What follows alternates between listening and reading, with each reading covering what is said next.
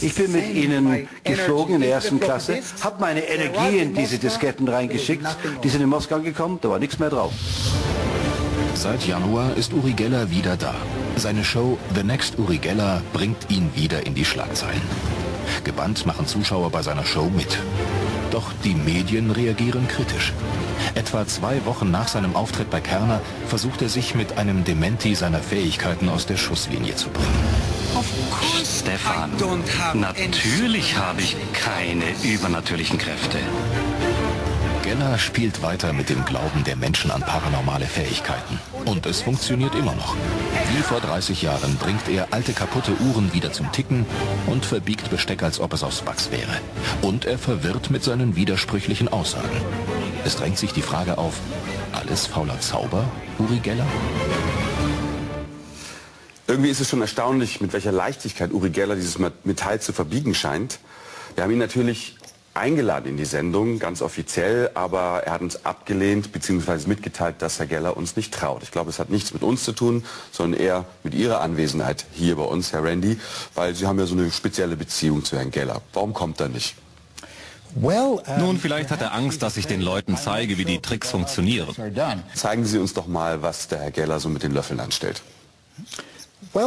Das ist ganz einfach. Wissen Sie, ich bin 79 Jahre alt und ich sage Ihnen, ich kann all diese Löffel ganz ohne Hilfe in einer Hand halten. Aber wenn Herr Geller einen Löffel nimmt, braucht er dazu beide Hände. Da frage ich mich, warum. Nun, wenn er den Löffel in beiden Händen hält, ungefähr so, dann kann man ihn biegen. Oh, sehen Sie. Er ist schon auf wundersame Weise verbogen, der Löffel.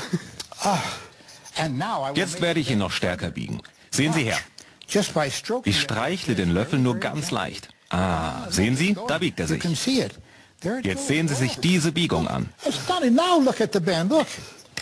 Das müssen Sie uns kurz erklären, wie das funktioniert. Das ist gar nicht schwer. Oh, das ist ein Wunder.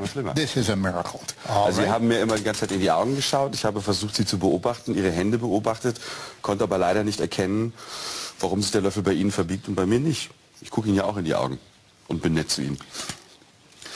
Das funktioniert, weil ich Sie in die Irre führe, Hendrik. Ich muss die Leute dazu bekommen, dass sie mir in die Augen sehen, während ich den Löffel biege. Und wenn ich den Löffel so halte, dann sehen Sie mir in die Augen und ich habe den Löffel bereits ein bisschen verbogen. Und ich mache es wieder. Ich mache diese Bewegung und habe dabei den Löffel schon verbogen. Sie haben also... Ja, genau. Er ist schon leicht verbogen.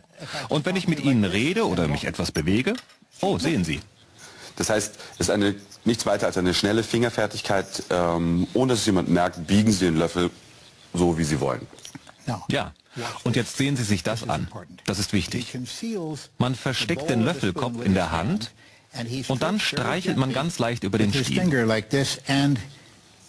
Gleichzeitig drückt man den Löffel ganz leicht nach oben. Und es sieht so aus, als ob sich der Löffel verbiegt.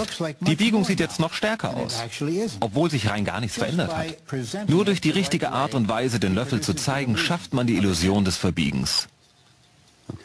Aber nichtsdestotrotz, ähm, Herr Geller behauptet ja, dass er im Gegensatz zu Ihnen keine Tricks anwendet. In einem Interview hat er kürzlich noch gesagt, dass er, im Januar war das, über telepathische Fähigkeiten verfügt. Und in der Tat, immer wieder muss sich auch die Wissenschaft mit paranormalen Phänomenen herumschlagen. Ganz besonders heiß diskutiert wird dabei ein Fall. Es ist das Rätsel um das Medium Nina Kulagina. Telekinese. Eine Fähigkeit, die wohl alle Menschen gerne hätten. Mit telekinetischen Kräften kann man zum Beispiel allein durch die Kraft der Gedanken eine Glühbirne zum Leuchten bringen, einen Tisch weben lassen, wie es Uri Geller in seiner Show demonstrierte, oder Streichhölzer in einem abgeschirmten Glaskasten bewegen. Ist es tatsächlich möglich, dass Menschen mit der Kraft ihrer Gedanken Gegenstände bewegen? Darüber streiten Wissenschaftler und Anhänger des Paranormalen. Wenn man sich die Forschungsbefunde zum Thema Telepathie, Telekinese, Parapsychologie anschaut, dann ist es so, dass keine dieser Behauptungen jemals einer ernsthaften wissenschaftlichen Überprüfung standgehalten haben. So ist es eben mit Gedanken, mit diesen Informationen, die sind auf einer Ebene, wo eben die Messgeräte sozusagen das nicht feststellen können. Der Fall der russischen Hausfrau Nina Kulagina gilt als der größte Beweis dafür, dass Telekinese möglich ist. 1961 wurde Kulagina von ihrem Mann gefilmt, wie sie Gegenstände in diesem Aquarium bewegt, ohne sie zu berühren. Seitdem ist sie weltbekannt. Doch kann so etwas überhaupt möglich sein? Folgt man den Erkenntnissen der Biologie, bestimmt unser Erbgut, wie wir aussehen. Das sehen Parawissenschaftler anders. Sie gehen davon aus, dass jeder Gegenstand von einem Informationsfeld aus purer Energie umgeben ist. Dieses sogenannte morphische Feld bestimmt, wie ein Gegenstand oder Körper geformt ist. Allein durch Gedankenenergie könne man diese Felder und damit auch alle Gegenstände beeinflussen. So lasse sich das Phänomen Telekinese erklären. Auch Nina Kulagina soll mit Hilfe dieser morphischen Felder die Gegenstände bewegt haben.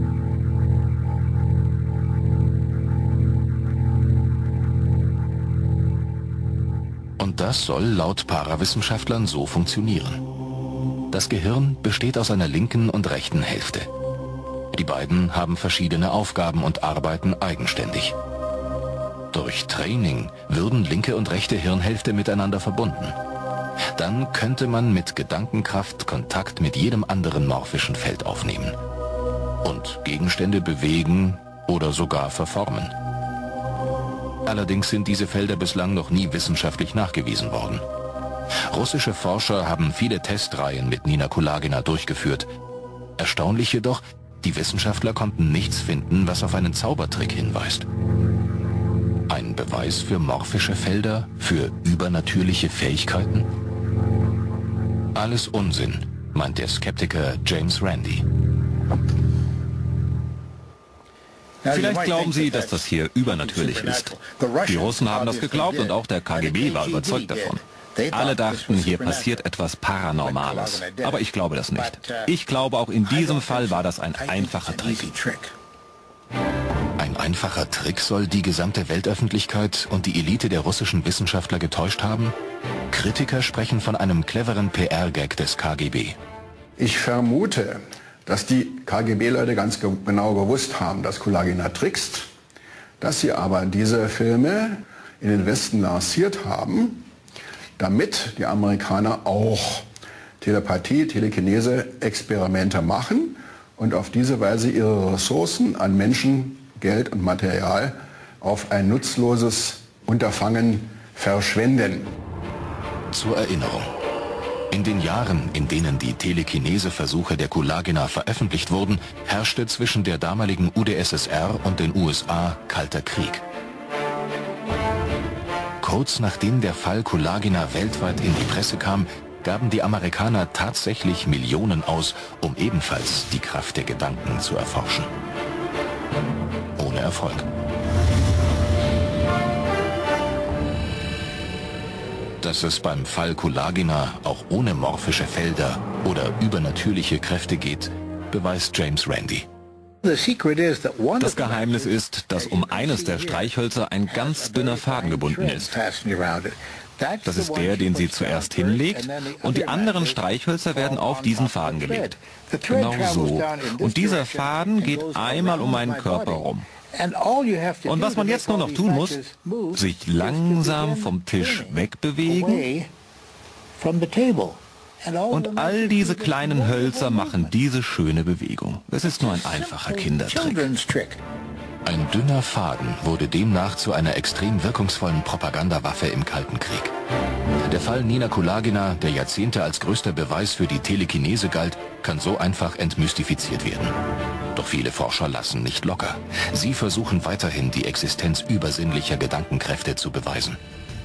So wie der Parapsychologe Roger Nelson, der seit 1998 daran forscht. Er meint, die Kraft der Gedanken bewiesen zu haben.